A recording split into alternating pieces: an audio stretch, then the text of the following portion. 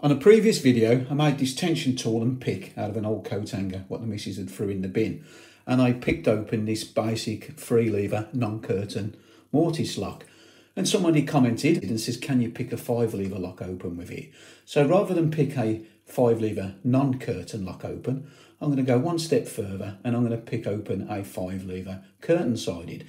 But obviously I've had to put a bit of a kink on the end of the pick. So that's what we're going to do today. We're going to put this one to one side. We're going to pick this open. It's a Legge five lever. I will take the cover off and show you after. There's five levers in there. But I just want to show that basic tools will get these type of locks open. So first of all, let's see if we can do it in my hand. I'm going to put that in and that's going to turn the camera around and we're going to get tension on it. But before I turn it fully, I just want to put the pick in. It's going to be a little bit tricky in my hand. So we'll stick the pick in and now we can turn that fully. Now this is the tricky bit. So I'm going to hold it like that. Bear with me.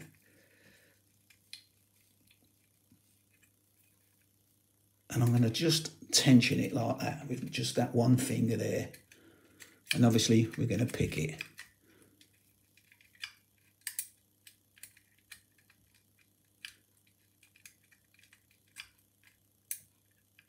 So this is a Legge five lever curtain sided lock. I think I might have gone into a false gate then.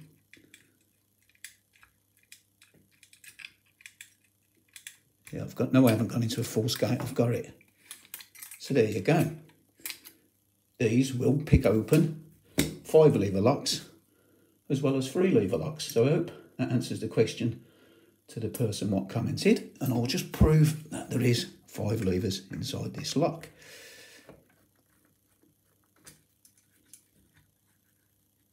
Yeah, I know obviously professional tools work better, but if you don't know whether you're going to get into picking lever locks, rather than spend a few hundred quid on a professional set, just make some. This was out of the bin.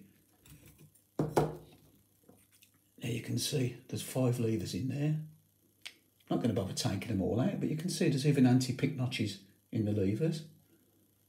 So that's it. Anyway, as always, thanks for watching, and I'll see you again next time. Try a bit.